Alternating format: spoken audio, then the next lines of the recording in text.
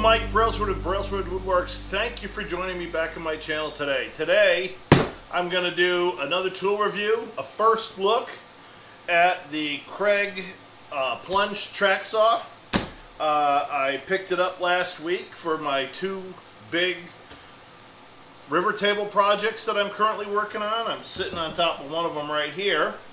And um, it's going to require, the track saw is just going to make it a whole lot easier. The, the big table is 12 feet long and I bought enough track so I can cut it the, the 12 foot length in, uh, in one shot. It's, uh, it's going to be two full slabs at six foot and um, I, I just think that to get it nice and even, a track saw really is the way to go.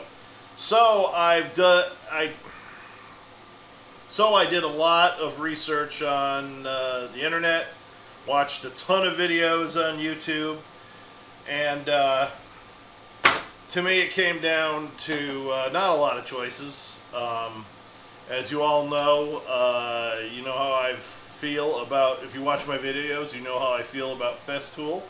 Um, might be a quality product, but I'm not paying those prices, just plain and simple.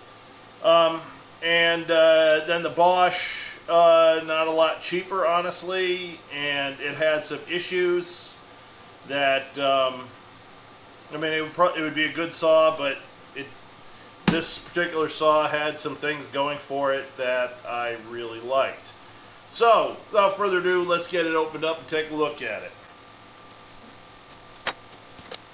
One of the things that was mentioned in many of the videos as being, uh, they considered it a negative, was the soft bag.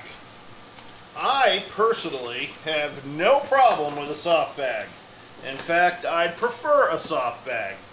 When you get it into the shop and you want to store it, uh, you either store it completely in the case someplace if it's a hard case, or like me, I don't keep them in the cases in my shop because I use them around my shop.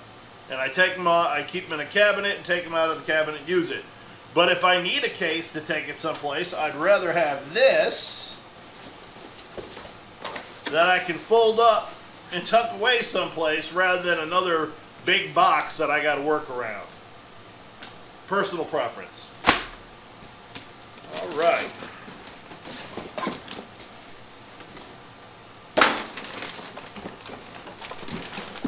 Okay, here's the saw.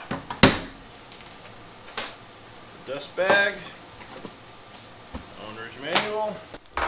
So one of the things that Kreg has is this cord management system. Um, so everybody has universally liked that it's worked. And just as universally not like the fact that it seems that it uh, it attaches to the track in kind of a cheesy method. So, uh, let me take a look, give my opinion.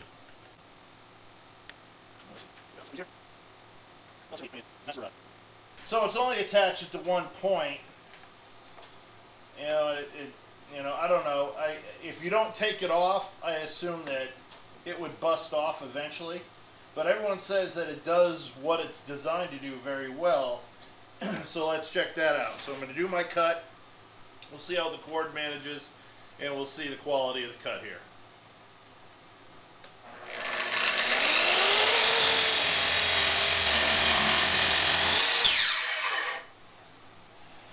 Okay, so my first thoughts were as it was cutting through, well the cord did stay where it's supposed to.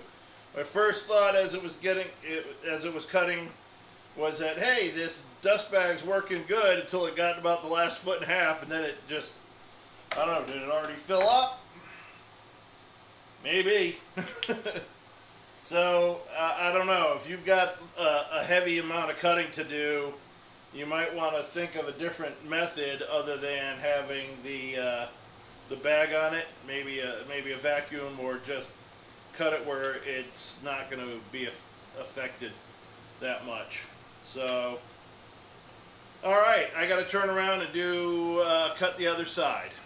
So when it came to the bag filling up, I totally forgot about the the plastic that was in there when I trimmed the the tracks. Um, so let's do it again. This time doing the other end, and uh, we'll see how the bag does with this one.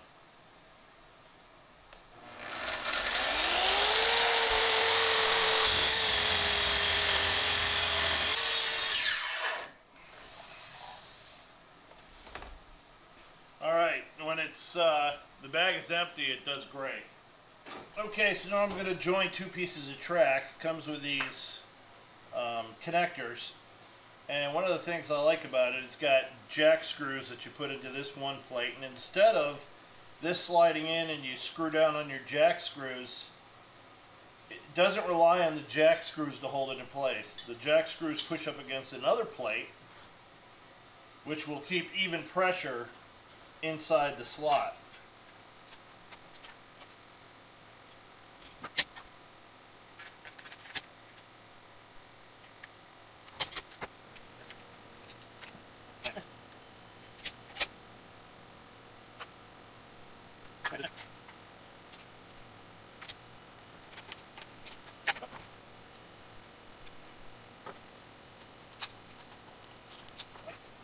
Sits there.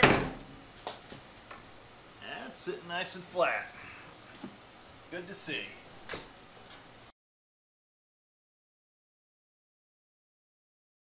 All right. Let's cut this first, this first long side of this table.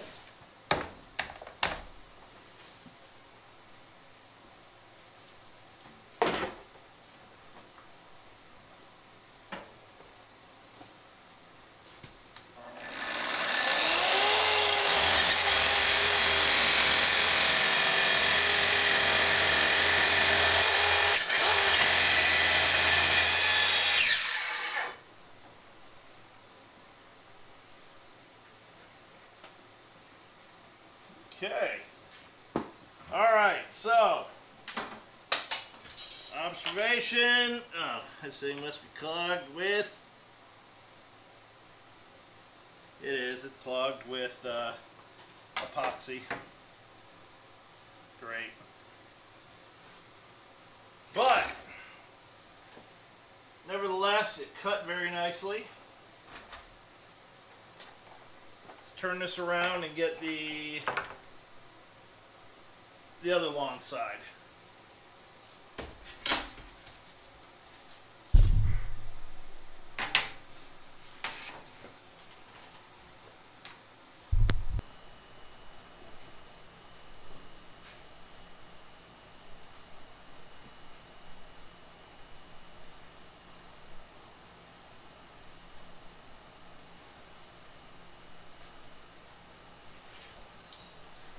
All right, so good news.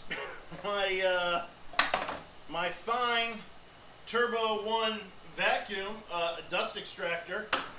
Uh, actually, the uh, the hose works just fine on the back of this. So uh, I think that should work out great because it's got the the the Fein's got the accessory when you plug the tool in there when you engage the tool, it'll turn the fan on, uh, the vacuum on automatically.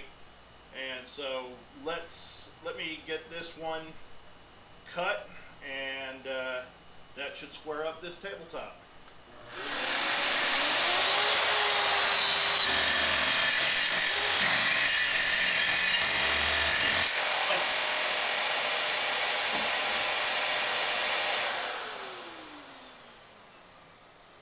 Oh yeah, nice straight edge.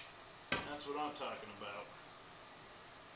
about. Okay, so you know, I, I gotta say, uh, I'm, I'm very pleased with the operation of it. It works very, very easily.